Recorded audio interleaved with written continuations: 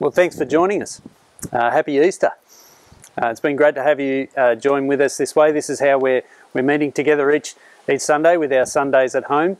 Uh, you're very welcome to keep uh, tuning in and joining in. Um, and after this, uh, a number of us are going to join in with a Zoom chat.